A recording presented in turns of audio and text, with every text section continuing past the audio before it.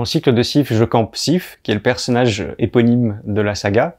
C'est un jeune orphelin. On suppute que puisqu'il est sorti d'une certaine forêt, il doit appartenir au, peuple des Sifs, et du coup, bah, son prénom n'est même pas un vrai prénom, on l'appelle euh, on l'appelle Sif comme on appellerait un Indien à l'Indien. Contrairement à pas mal de choses qui se font en fantasy, on se retrouve, on n'est plus euh, pour le coup dans les cercles des puissants, on n'est pas avec les rois, on n'est pas avec les décideurs, on est au contraire vraiment dans le, tout en bas de la, de la pyramide sociale avec euh, les mendiants, les paysans, les gens, les gens qui ne sont rien. Et, euh, et euh, c'est plutôt leur histoire que j'avais envie de raconter, euh, l'histoire des gens qui subissent les grandes décisions plutôt que celle l'histoire des gens qui les prennent.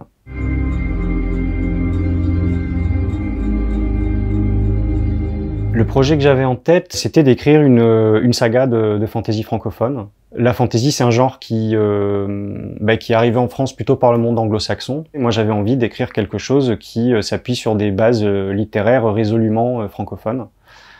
Donc ça, c'était un de mes projets. Mon autre projet, évidemment, c'est de parler, euh, bah, c'est de parler du monde euh, dans lequel j'habite. Et pour cela, euh, la fantaisie est un formidable outil.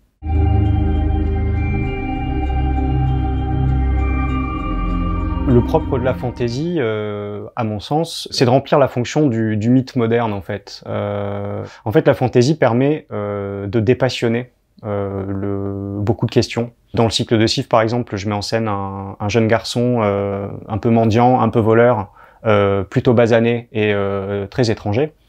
Euh, si j'avais campé ce personnage-là dans le monde qu'on connaît, euh, il y a une partie croissante de, de du lectorat qui m'aurait dit moi j'ai pas envie de lire l'histoire d'une petite racaille alors que dans le monde de Sif ça passe on est on est sur on est sur d'autres enjeux et du coup on peut permettre de poser des questions de, de poser des choses en les en le redonnant en quelque sorte une, une virginité euh, idéologique quoi. Et ça, euh, ça, ça me, ça me botte. Je, trouve que c'est un peu le, c'est un peu un des grands intérêts euh, du, genre de la fantaisie.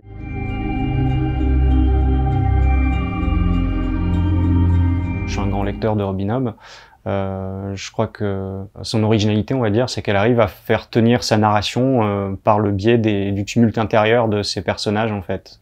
Et ça, j'ai trouvé ça, bah, c'était un peu une révélation quand je l'ai lu.